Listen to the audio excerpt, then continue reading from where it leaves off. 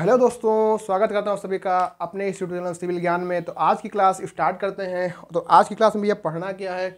आप सभी को पता है कि डेली बेसिक पर हम लोग प्रैक्टिस कर रहे हैं ससी जेई मेंस के लिए और आपको रोज़ाना मैं प्रैक्टिस सीट देता हूँ, जो कि हमारे टेलीग्राम चैनल और हमारे व्हाट्सएप ग्रुप में भेजी जाती है। प्रैक्टिस सीट नंबर थ्री तो प्रैक्टिस सीट नंबर थ्री में जो आज का क्वेश्चन था, वो आपका है टी बीम का। तो मैं आज टी बीम, वैसे तो इम्पॉर्टेंस है, हो सकता है आ जाए। तो मैं एक बार आज टी बीम थोड़ा एनालिसिस कर लेता हूँ। और टी बीम का मैं एक ऐसा क्वेश्चन उठाया हूँ, जिससे आपको तीनों केस आ जाएगा। अगर आपने पढ़ा होगा तो देखा होगा टी बीम से तीन केस बनते हैं। तो वो एक ही क्वेश्चन में तीनों केस आपका आ जाएगा। तो क्लास को पूरा देखिएगा। अगर चैनल पर नए हैं चैनल को सब्सक्राइब ज़रूर करिएगा। और हाँ परेशान मत होना एग्ज़ाम ही है, हो जाएगा। कोई दिक्कत वाली बात नहीं है, ठीक है?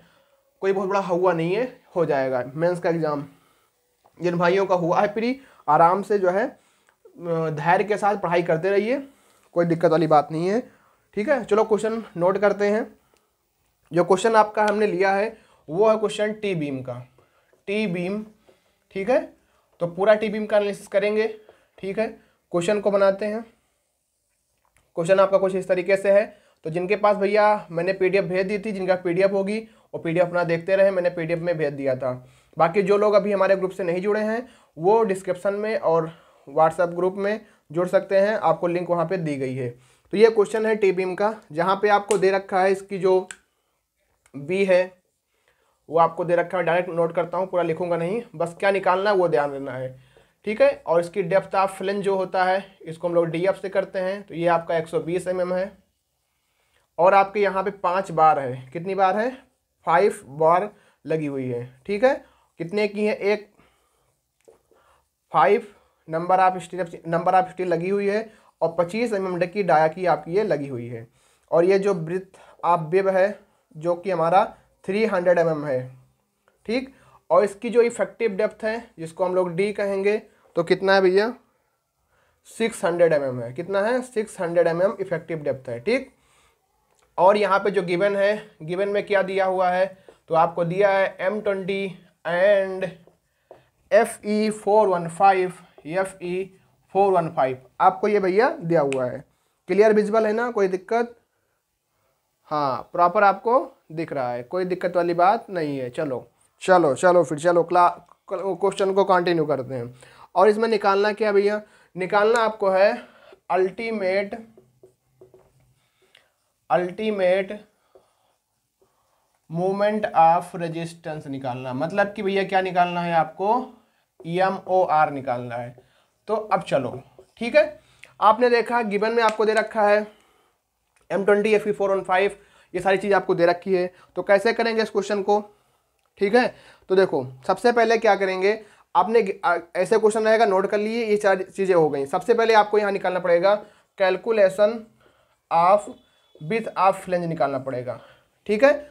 तो इसके फॉर्मूला क्या होता है? L naught divide by L naught B plus के फोर प्लस फोर प्लस की बिथ आप वेब और बी आपका। इनमें जो आपका मिनिमम होगा, वो होगा। तो जिनके पास पीडीएफ है क्वेश्चन में देखो, वहाँ पे एल नॉट की वैल्यू दे रखी है। क्वेश्चन में क्या लिखा हुआ है? कि determine the ultimate moment of resistance of a simply supported isolated isolated के लिए फॉर्मूला लगता है ये। आइसोलेटेड टी बीम है तो ये फॉर्मूला आपका लगता है आइसोलेटेड टी बीम के लिए। ठीक भैया? और इसमें हाइबिंग स्पैन छः मीटर मतलब कि ये एल नॉट की वैल्यू कितनी लेंगे हम? Six thousand divide by six thousand और बी आपका होगा ये नाइन हंड्रेड एम एम तो यहाँ पे हो जाएगा nine hundred M M plus four nine hundred M M plus के बी डब्ल्यू बी डब्ल्यू यहाँ पे कितना हो जाएगा आपका? थ्री हंड्रेड एम एम हो जाएगा। इसको सॉल्व करोगे, दो ज़ीरो से दो ज़ीरो कैंसिल इसको सॉल्व करोगे तो कितना आएगा? आठ सौ अड़सठ पॉइंट, आठ सौ बासठ पॉइंट फाइव। मैंने कैलकुलेट करके रखा आप कैल्शियम रखिए। बताइए यहाँ पे कितना आएगा? आठ सौ बासठ पॉइंट फाइव एम आएगा। फिर इन दोनों मिनिमम कितना है? तो यहाँ से जो ब्रीथ हाफ़ फ्लेंज आपका आ जाएगा ब्रीथ हाफ़ फ्लेंज जो आपका होगा, वो हो जाएगा आठ सौ बासठ पॉइंट फाइव एम एम कितना हो जाएगा? आठ सौ बासठ पॉइंट फाइव एम आपका बिथा प्लंज आ गया। बस, अब बिथा प्लंज निकल गया। फिर उसके बाद हमने यहाँ पे किस तरह निकाला? आइसोलेटेड यहाँ पे क्वेश्चन में कहा है तो क्वेश्चन में जो आइसोलेटेड कहा है तो आइसोलेटेड के हिसाब से हम लोग यहाँ पे निकाल लेंगे, ठीक है? अब हम आगे बढ़ेंगे, और इसमें आपको पता है, इसमें तीन केस होता है टी बीम में। तीन केस कौन कौन सा होता है? पहला केस हमारा होता है, अब हम क्वेश्चन को कंटिन्यू करेंगे। देखो मूवमेंट ऑफ़ रेजिस्टेंस हम सेक्शन का निकाल रहे हैं तो अगर सेक्शन का मोमेंट रेजिस्टेंस हमको निकालना है, सबसे पहले हमको पता करना पड़ेगा कि सेक्शन हमारा कैसा है। सेक्शन की पहचान करनी होगी। अंडर री है कि ओवर री है? एक ओवरव्यू दे रहे हैं कि क्वेश्चन को अटेम्प्ट कैसे करना है। कोई भी क्वेश्चन चाहे टी बीम का हो या आपका सिंपल सिंपली सपोर्टेड बीम का क्वेश्चन आ गया हो या किसी भी कोई चीज़ का आ गया अगर वहाँ पे केवल मोमेंट ऑफ़ रेजिस्टेंस निकालने के लिए पूछा है तो सबसे पहले फाइंड आउट करो कि सेक्शन कैसा है आपका। कि अंडर री है कि ओवर री है?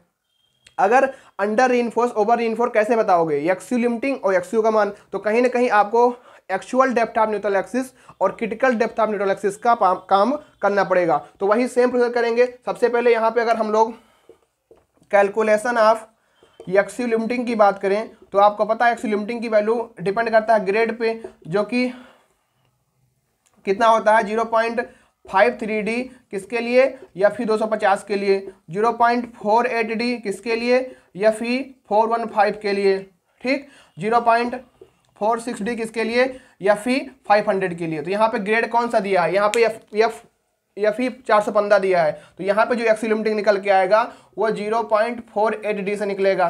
तो आपको सबसे पहले अगर किसी सेक्शन का मुआर निकालना है तो एक्सी लिमिटिंग निकालिए और एक्चुअल डेटा एक्सिस निकालिए।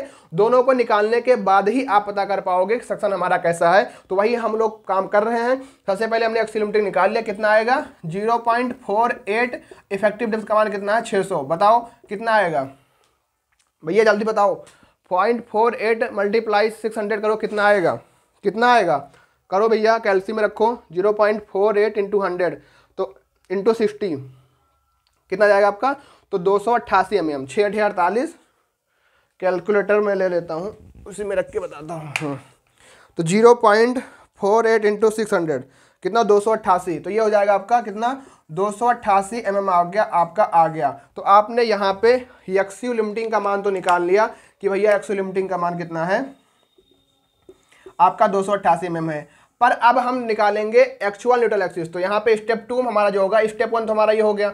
अब स्टेप टू हमारा जो होगा calculation of calculation of actual depth of neutral axis actual depth of neutral axis अब हम निकालेंगे actual depth of neutral axis वो जो निकल के आता है, वो फ्रॉम कंप्रेसिव फोर्स बराबर टेंसाइल फोर्स करने पे आता है। पर यहाँ पे ध्यान रखना, सबसे पहले एज्यूम करेंगे क्या यहाँ पे मानेंगे कि एज्यूम करेंगे एज्यूम केस वन की बात करेंगे कि हमारा neutral axis lies in lies in flange portion कहाँ पे लाई कर रहा है? फ्लेंज पोर्शन पे लाई कर रहा है। अगर आपका न्यूट्रल एक्सिस फ्लेंज पोर्शन पे लाई कर रहा है तो कहीं ना कहीं आपका न्यूट्रल एक्सिस यहाँ पे लाई कर रहा है। जब यहाँ पे लाई करता है तो सिंपल जैसे आप एक सिंपली सपोर्टेड बीम का निकालते हैं तो सेम ऐसे ही हम लोग इसका निकाल लेते हैं। तो वो फार्मूला जो निकल के आता है zero point three six F C K breadth of flange X U बराबर zero point eight seven F Y A S T जो zero point three six F C K B F X U point eight seven F I S T तो यहाँ पे रखो value point three six F C K कितना हो जाएगा? Twenty breadth of flange कितना है? आठ सौ बासठ पॉइंट फाइव एक्स यू हमको निकालना है, बराबर zero point eight seven point eight seven या फाइव कितना है? चार सौ पंद्रह। और यहाँ पे पाँच बार है पच्चीस एम mm की। मतलब कि एक बार का area forty ninety point one three something होता है। पच्चीस एम mm बार का अगर एक छड़ का एरिया निकालोगे, इसको पाँच से मल्टीप्लाई करो तो लगभग पाँच सौ नौ सौ पैंतालीस, पाँच बीस, चौबीस। तो चौबीस सौ तिरपन के लगभग या चौवन के लगभग ये एम mm का स्क्वायर एरिया आएगा। आप कैलकुलेटर से सॉल्व कर सकते हो। तो यहाँ डायरेक्ट हम रख देंगे क्या? चौबीस ठीक? यहाँ से आप एक्सयू की वैल्यू फाइंड आउट करो, बताओ कितना आ रहा है एक्सयू की वैल्यू हम भी कैल्सी में रख रहे हैं। आप लोग भी कैल्सी में रखिए और बताइए कि एक्सयू की वैल्यू आपकी कितनी आ रही है। ठीक है? कोई दिक्कत यहाँ तक? हाँ क्लियरली विजिबल आप सभी को है। एक्स एक्सयू वैल्यू कितनी आपकी आ रही है? जल्दी कैल्सी में रख के बताइए। तो point three six into twenty into eight sixty two point five में एक्सयू करके हमने देखा। तो यहाँ पे एक्सयू की वैल्यू कितनी आएगी? एक सौ बयालीस दशमलव छः सात एम एम कितना आ रहा भैया एक सौ की वैल्यू एक सौ बयालीस दशमलव सिक्स सेवन एम एम आपका एक सौ की वैल्यू आपकी यहाँ पे आ रही है। ठीक है? तो आप अब ये चेक करो कि आपने जमसन क्या माना है कि हमारा जो न्यूट्रल एक्सिस है, वो लाई कर रहा है फ्लेंज पोर्शन में। अगर वो लाई करेगा फ्रेंच पोर्शन में तो मतलब कहने मतलब क्या हो गया कि X U is less than depth of flange यही तो केस होगा? पर यहाँ पे एक्सयू की वैल्यू कितनी आ रही है? एक्सयू की वैल्यू आपका ये आ रही है कि एक्सयू एक सौ बयालीस दशमलव छः सात less than depth of flange एक सौ बीस। क्या ये फुलफिल हो रहा है? आप देखो, यहाँ पे एक्सयू की वैल्यू तो एक सौ बयालीस आ रही है तो कहीं ना कहीं डेप्थ ऑफ़ फ्लेंज से बाहर आपका वेब में वेब में आपका आ रहा होगा, आपका जो न्यूट्रल एक्सिस है। तो ये हमने जो माना था कि our assumption our assumption our assumption is wrong हमारा एजम्सन क्या होगा? वो रॉन्ग हो गया। अब ये केस वन हो गया। अगर यही पे यही फुलफिल हो गया होता तो बस कुछ नहीं करना होता। आराम से हम लोग एम का फॉर्मूला लगा देंगे zero point three C F C K B F X U point D minus zero point four two X U करके निकाल लेते। अगर यही लाई कर गया होता इसमें मतलब समझ लो यहाँ पे। अगर ये फ्लेंज वाले पोर्शन में एक्स यू की वैल्यू 120 से कम आई होती तो यहाँ लाई कर जाता। तो हम लोग डायरेक्टली बस यही फॉर्म लगा देते। मोमेंट ऑफ़ रेजिस्टेंस का कौन सा भैया? कि zero point zero point three six F C K V F X U D minus zero point four two X U. यही वाले फॉर्मूले को लगा करके हम लोग अपना मोमेंट ऑफ़ रेजिस्टेंस कैलकुलेट कर लेते। पर यहाँ पे ये चीज़ फुलफिल नहीं हो रहा है तो अब हमको केस टू मानना पड़ेगा कि हमारा न्यूट्रल एक्सिस लाई कर रहा है वेब पोर्शन में। और जो है केस टू की के तरफ़ हम बढ़ेंगे आगे तो वहाँ पे डिस्कस करेंगे केस टू में क्या चीज़ें होती हैं। वहाँ पे थोड़ा और चीज़ें स्ट्रेस का वेरिएशन का देखना पड़ता है। तो ये आपका केस वन के हिसाब से हो गया कि केस वन में किस तरीके से जो है आपको करोगे। अगर केस वन अगर कोई क्वेश्चन आए केस वन से फुलफिल हो जाए तो आप डायरेक्टली ये एम लगा करके अपना आंसर आ जाता। पर यहाँ पे आप देख रहे हो यहाँ पे आप लोग देख रहे हो कि आपका जो केस है फुलफिल नहीं हो रहा। आप लोग नोट कर रहे होगे ना? नोट कर लीजिए इसको, ठीक है? अब यहाँ पे हम क्या करेंगे? जब आपका फुलफिल नहीं हो रहा है तो हम इसको क्या करेंगे? फर्दर केस टू मानेंगे, ठीक है? केस टू मानेंगे, इसको इरेज कर देते हैं, ठीक? चलो। टी बी में एक बार थोड़ा पढ़ लीजिए। हो सकता है मान लो एग्ज़ाम में भूले बैठ के आ ही जाए। तो आप छोड़ के मत आओ। कुछ है नहीं, बस फार्मूला है। दो तीन बार प्रैक्टिस करोगे लिख लिख के, फार्मूले याद हो जाएँगे, कोई दिक्कत वाली बात नहीं रहने वाली है। बहुत आसान है। देखो, मेंस वेंस बहुत आसान चीज़ है भैया। ज़्यादा परेशान नहीं होना इसमें। बस बस ये समय की वो है कि समय रहते अगर आप अपने सिलेबस पर काम कर लेते हैं तो आज मतलब जो है, बस प्रैक्टिस करना होता है इसमें, ठीक? कोई दिक्कत वाली बात नहीं है। चलो, हम हम टी बीम के केस सेकंड की तरफ़ बढ़ते हैं। केस सेकंड कहता है कि हमारा जो एक्सयू है, वो greater than depth of flange है। मतलब कि जो एक्सयू मतलब न्यूट्रल एक्सिस है, वो कहाँ डेप्थ ऑफ़ फ्लेंज से बाहर जा रही है? मतलब कि कहाँ जा रही है? वेब पोर्शन में। ठीक? ये बात हो गई। चलो। और आपने देखा होगा कि जो स्ट्रेस का वेरिएशन होता है, क्योंकि जब आप स्ट्रेस डायग्राम बनाते हो तो ये कुछ इस तरीके से आपका स्ट्रेस डायग्राम बनता है। पहले आपका रेक्टेंगल फिर यहाँ पैराबोला फॉर्म में। तो ये जो रेक्टना रेक्टेंगल अभाव होता है, वो कितना होता है? वो होता है three by seven X U और नीचे वाला कितना होता है? पैराबोला फॉर्म में four by seven X U तो जितना रेक्टेंगल वाला होता है, उसमें यूनिफॉर्म स्ट्रेस का वेरिएशन होता है। तब यहाँ पे जब केस टू हम लगाते हैं तो यहाँ पे ये मानते हैं कि हमारा जो डेप्थ ऑफ़ फ्लेंज है डेप्थ ऑफ़ फ्लेंज जो है, और ये तो ये मान ली पहले बात, और फिर ये मानेंगे कि जो डेप्थ ऑफ़ फ्लेंज है, वो लेस देन है किससे? थ्री बाई सेवन एक्सयू या उसके बराबर से। मतलब थ्री बाई सेवन एक्सयू की जो वैल्यू आएगी थ्री बाई सेवन एक्सयू है क्या? ये थ्री बाई सेवन एक्सयू है क्या? ये आपका यूनिफॉर्म स्ट्रेस वेरिएशन का वो है पार्ट है कि अगर थ्री बाई सेवन एक्सयू की वैल्यू डेप्थ ऑफ़ फ्लेंज के बराबर या उससे अधिक होती है तो मानेंगे कि जो फ्लेंज हमारा है फ्लेंज फ्लेंज लाई कर रहा है यूनिफॉर्म स्ट्रेस में। यूनिफॉर्म स्ट्रेस के वेरिएशन में लाई कर रहा है, ठीक है? ये कंडीशन होती है। ऐसा हम केस मान के चल रहे हैं। अब हम इस केस में अपनी actual depth of neutral axis को निकालेंगे तो उसके लिए लिखेंगे calculation of calculation of actual actual depth of neutral axis अब अब इस केस में क्या होगा? हमने मान लिया है कि हमारा जो वेब है, हमारा जो न्यूट्रल एक्सिस है, वो लाई कर रहा है आपके वेब वाले पोर्शन में। तो इस केस में जो आपका फार्मूला होगा तो वेब का वाला पार्ट भी आएगा। जब वेब वाला पार्ट आपका आएगा तो उस केस में जो आपका फार्मूला लगेगा, वो कहीं ना कहीं वेब वाले पार्ट को लेके लगेगा। तो यहाँ पे हो जाएगा zero point three six F C K B W X U plus का zero point four five F C K breadth of flange minus के ब्रिथ ऑफ़ वेब बराबर zero point eight seven F Y A S T. अब इस वाले फार्मूले का use करके zero point three six F C K B W X U plus zero point four five F C K B F minus B W और यहाँ पे आपका डेप्थ ऑफ़ फ्लंज भी तो आएगा। यहाँ पे डेप्थ ऑफ़ फ्लंज बराबर point eight seven F Y A S T इस वाले फार्मूले का यूज़ करके अब हम निकालेंगे यहाँ से एक्स यू का मान। चलो निकालो। एफ़ सी के रखो कितना? ट्वेंटी बी डब्ल्यू कितना रखोगे? थ्री हंड्रेड एक्स यू आपको निकालना है। एफ़ सी के आपका ट्वेंटी ब्रीथ ऑफ़ लंच कितना? आठ सौ बासठ point five breadth of web कितना? Three hundred depth of flange एक सौ बीस। या फाइव चार सौ पंद्रह। एरिया फिटिल चौबीस सौ चौवन। सारी वैल्यू को रखो। दिख रहा होगा आपको, कोई दिक्कत तो नहीं होगी दिखने में। हाँ सारी वैल्यूज़ को रखो आप रखने के बाद जो यहाँ से एक्स यू का मान निकालो, कितना आ रहा है? यहाँ से आप एक्स यू का मान निकालोगे तो कितना आएगा भैया? यहाँ पे आएगा एक्स यू का मान एक सौ मैंने कैलकुलेट करके रखा है, एक सौ अड़सठ एम अब देखो आपका यहाँ से एक्सयू का मान कितना आ गया? Actual depth of neutral axis का मान एक सौ एम अब यहाँ पे देखो आपने क्या माना है कि X U greater than D F तो आप पहले चेक करो। पहले चेक करो कि एक्स यू एक सौ अड़सठ greater than depth of flange मतलब कि 120 तो ये तो आपको पहली कंडीशन फुलफिल हो रही है कि X U greater than D लेकिन अब अगर फ्लंज आपका यूनिफॉर्म वाले पोर्शन में लाई कर रहा होगा तो ये वाली कंडीशन भी फुलफिल होनी चाहिए। तो चेक करो। डेप्थ ऑफ़ फ्लंज मतलब कि 120 लेस देन होना चाहिए या इक्वल टू होना चाहिए किसके? थ्री बाई सेवन यू के। यू का मान एक इसको सॉल्व करो, कितना होगा? Three by, three multiply one sixty eight point two eight divide by के सेवन। तो सेवेंटी टू, ये कितना आएगा पूरा? ये आएगा seventy two point one two M M.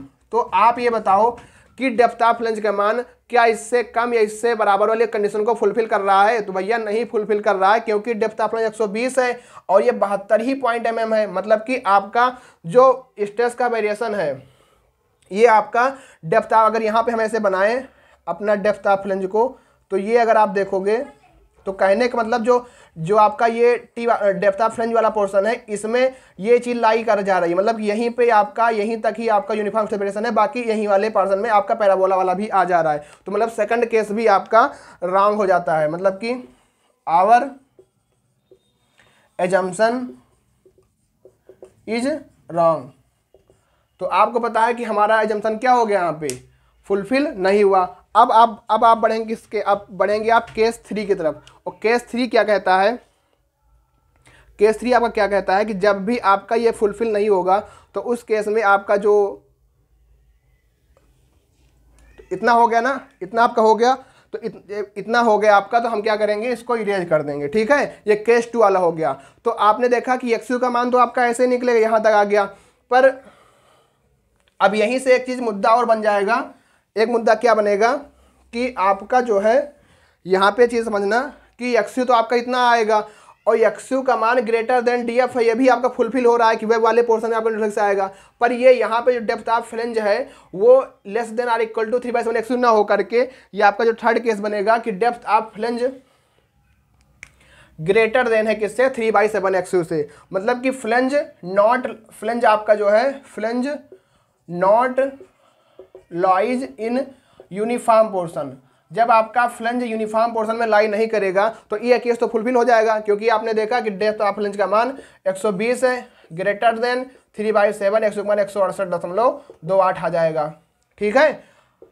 तो ये आ जाएगा बहत्तर पॉइंट होती ये तो आपका ओके हो जाता है। ठीक है? अब यहाँ पे वेरिएशन कहाँ पे देखने को मिलेगा? जब आप मूवमेंट ऑफ़ रेजिस्टेंस अब निकालोगे तो यहाँ पे एक टर्म आपको देखने को मिलेगा। लिखो, अब जो फार्मूला लगेगा यहाँ पे ये केस थ्री आपका चल रहा है। केस थ्री में क्या होगा? ये तो वही रहेगा कि एक्स यू बराबर एक्स यू बराबर D F X U greater than D F web portion में लाई करेगा। और यहाँ से आप ये मानना पड़ेगा, फिर आपका एक्स यू इतना ही आएगा। पर यहाँ पे जो वेरिएशन देखने को मिलेगा, वो वेरिएशन आपको जो देखने को मिलेगा मोमेंट ऑफ़ रेजिस्टेंस वाले फार्मूले में।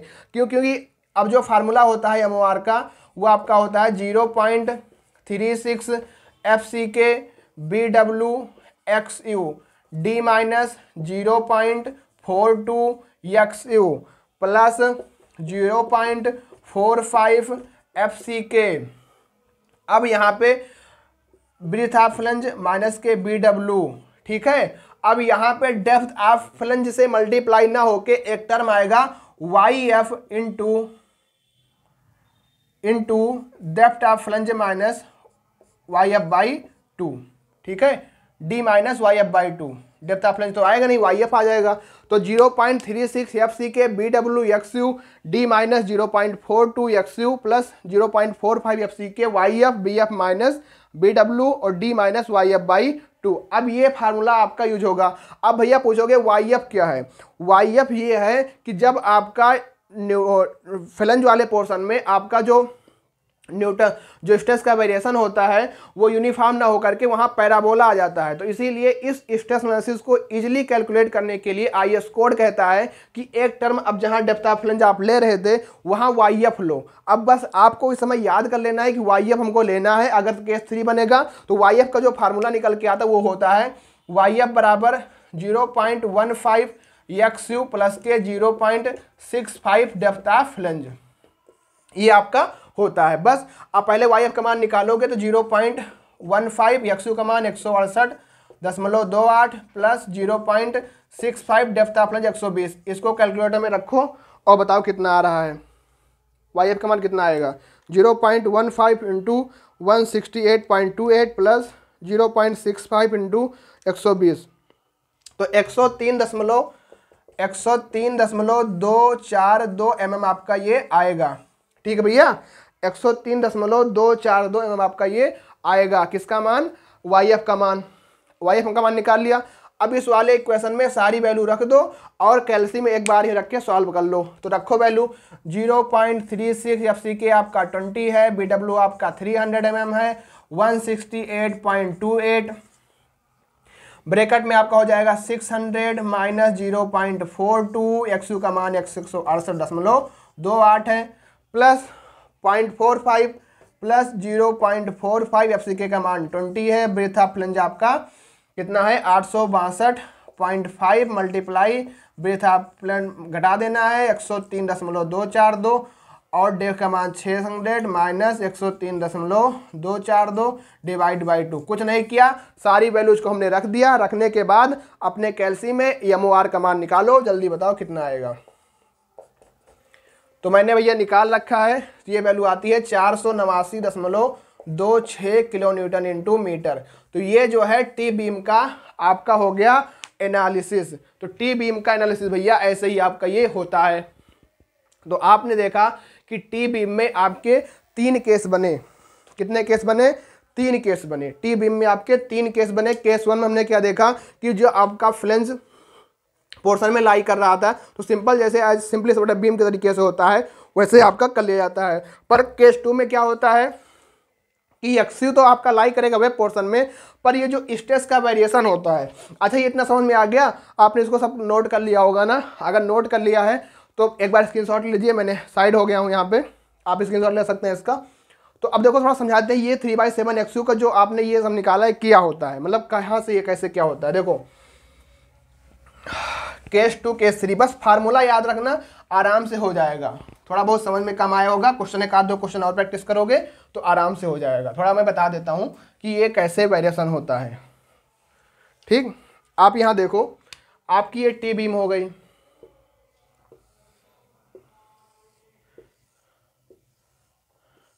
जब आप इसका स्ट्रेस डिस्ट्रीब्यूशन बनाओगे मतलब जो स्ट्रेस डायग्राम बनता है तो वो ऐसे बनता है। ठीक है? तो ये आपका फ्लेंज का तो ये आप जो इतना पार्ट देखते हो, इतना पार्ट तो ये इतने पार्ट में जो स्ट्रेस का वेरिएशन होता है, वो ऐसे होता है मतलब कि यूनिफॉर्म वेरिएशन होता है, ठीक है? तो ये इतनी डेप्थ ही क्या होती है आपकी? ये आपकी three by seven X U होती है। और जो पैरा वाला पार्ट का होता है पैराबोला वाला पार्ट का, वो four by seven X U का होता है। ठीक है? तो ये आपका four by seven X U होता है थ्री बाई सेवन तो यही हम लोग यहाँ से चेक करते हैं कि जो डेप्थ ऑफ़ फ्लेंज है क्या डेप्थ ऑफ़ फ्लेंज पूरा का पूरा इस वाले पोर्शन में आ जा रहा है? मतलब डेप्थ ऑफ़ फ्लंज की, डेप्थ ऑफ़ फ्लंज जब भी आपका लेस देन होगा किससे? थ्री बाई सेवन एक्सयू से मतलब थ्री बाई सेवन एक्सयू वाला जो ये पार्ट है, अगर इस गहराई से ज़्यादा होगा, तभी तो आपका ये पूरा का पूरा जो न्यूट, पूरा का पूरा जो फ्लेंज पार्ट है, इस यूनिफॉर्म वाले पार्ट में आ जाएगा मतलब समा जाएगा, कह दो। लाई कर जाएगा। अगर यही थ्री बाई सेवन एक्स की वैल्यू ऊपर घुसक जाए मतलब वो यहाँ तक आ जाए तो मतलब डेप्थ ऑफ़ फ्रंज आपका ज़्यादा हो जाए मतलब 100 ये जो डेप्थ ऑफ़ फ्रंज है, वो ज़्यादा हो जाए यूनिफॉर्म वाले पोर्शन से, तब आपको ये लगेगा कि आपके इसी फ्लेंज वाले पार्ट में आपका पैराबोला वाला भी स्ट्रेस डायग्राम आ गया। तो यहीं से जब जैसे ही आपका केस थर्ड लागू होगा तो वहाँ से जहाँ भी जहाँ जहाँ कैलकुलेशन में डेप्थ ऑफ़ फ्लेंज लेते थे, वहाँ वहाँ वाई एफ़ बराबर zero point one five X U plus के zero point six five depth of flange लेना स्टार्ट कर देंगे। ये आई एस कोड कहता है I S code four five six two thousand आपका कहता है कि आपका स्ट्रेस डिस्ट्रीब्यूशन को यूनिफॉर्म बनाने के लिए और कैलकुलेशन को इजी करने के लिए वहाँ पे हम लोग वाई एफ़ कमान ले आते हैं। तो आज की क्लास में हमने टी बीम को देखा एनालिसिस अच्छे से किया। उम्मीद करता हूँ आपको समझ में आया होगा। कहीं पर अगर कोई समस्या हो तो बाद में आप ऑफलाइन कमेंट करके मुझसे पूछ सकते हैं। हम आपके रिप्लाई हर एक कमेंट को प्रॉपर तरीके से पढ़ते हैं। तो कल की क्लास में हम फिर प्रैक्टिस सीट देंगे। देखो प्रैक्टिस सीट हम रोज़ाना आपको दे रहे हैं इंपॉर्टेंट क्वेश्चन की। जो भी आपकी इंपॉर्टेंट क्वेश्चन है ससी जी मेन्स में आने के फुलफिल चांस रहेंगे। उन्हीं को हम लोग यहाँ पे करा रहे हैं। तो आप लोग हमारे व्हाट्सएप ग्रुप से और टेलीग्राम लिंक से जुड़ जाइए। रोज़ाना हम लोग वहाँ पे क्वेश्चन को भेजते हैं और प्रॉपर तरीके से एनालाइज शाम को एक क्वेश्चन लेकर हम लोग कर लेते हैं। बाकी आप लोग बताइए क्लास कैसी लगी? अगर चैनल पर नए हैं, चैनल को सब्सक्राइब ज़रूर करिए। मिलते हैं फिर कल इसी टाइम पर तब तक लिए थैंक यू जय हिंद, जय भारत।